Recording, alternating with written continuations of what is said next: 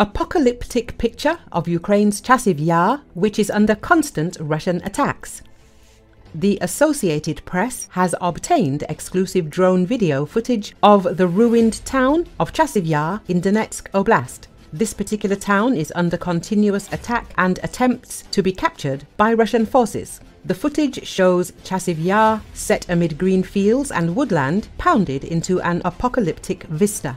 The destruction is reminiscent of the cities of Bakhmut and Avdiivka, which Ukraine yielded after months of bombardment and huge losses for both sides. Not a single intact building remains in the town, with houses and municipal offices charred, and the town once home to 12,000 residents, now nearly deserted. The Associated Press noted that capturing the town would give Russia control of a hill from which it could attack other towns that form the backbone of Ukraine's eastern defenses. This would set the stage for a potentially broader Russian offensive that Ukrainian officials say could come as early as this month.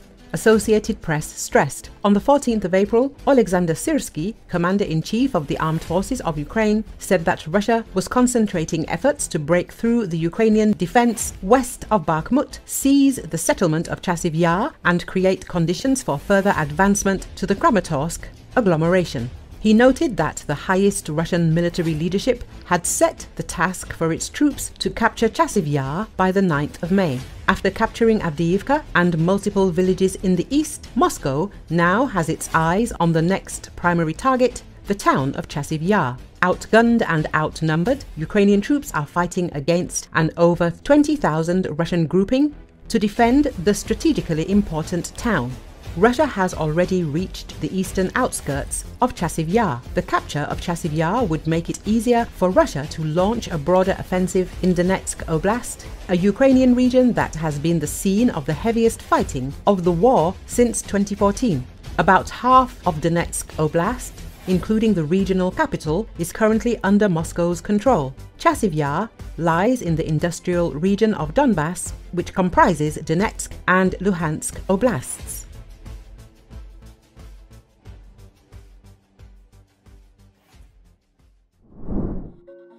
Ukrainian Special Operations Forces have destroyed two Buk anti-aircraft missile complexes belonging to the invading Russian army in the Sumy region in northeastern part of Ukraine.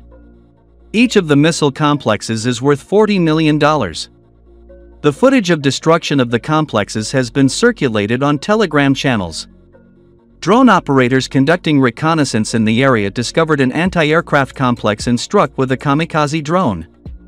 The second Buk that arrived in the area to evacuate the decommissioned combat equipment was also targeted by Ukrainian. Ukrainian Special Operations Forces have destroyed two Buk anti-aircraft missile complexes belonging to the invading Russian army in the Sumy region in northeastern part of Ukraine. Each of the missile complexes is worth $40 million. The footage of destruction of the complexes has been circulated on television.